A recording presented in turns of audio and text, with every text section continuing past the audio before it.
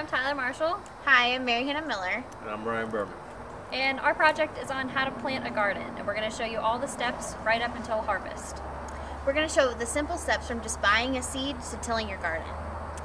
This video is going to show those who have never grown a garden before. Our garden is smaller for our own personal consumption.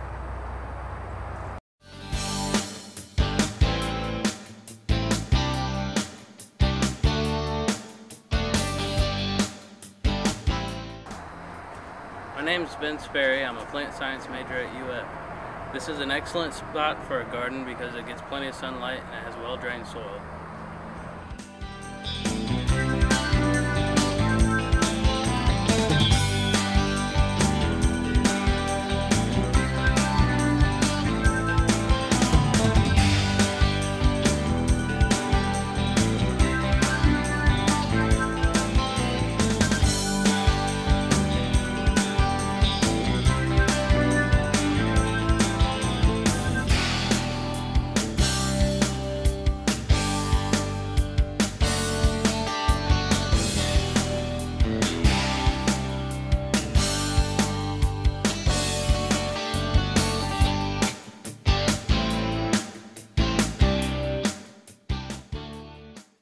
Your garden fertilized helps increase the growth rate of your products. Miracle-Gro, along with others, help as well.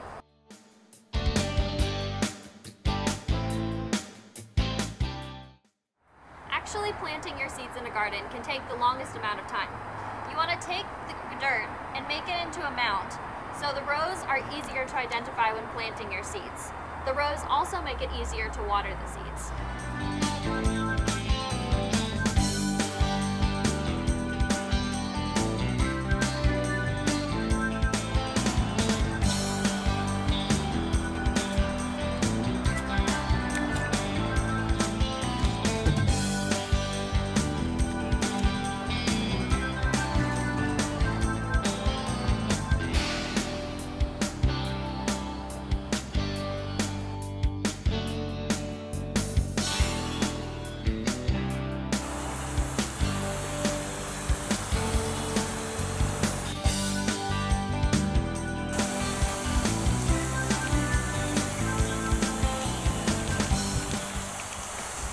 The best vegetable varieties to grow in the springtime are peppers, lettuce, tomatoes, and squash.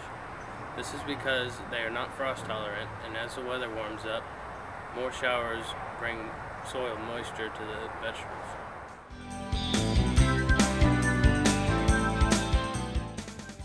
Different types of plants take longer times to germinate. These squash plants take 7 to 14 days to germinate, as you can see here. Growing a garden can actually be very beneficial to you and your family.